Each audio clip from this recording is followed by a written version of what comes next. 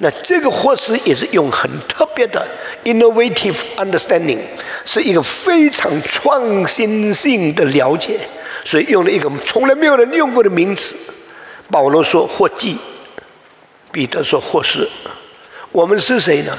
我们是活的石头，建造耶稣基督旁舍的上面，变成一个上帝的灵宫，变成了真正的圣殿，变成一个神居住的地方。就是教会，我把我的教会建在这盘子上。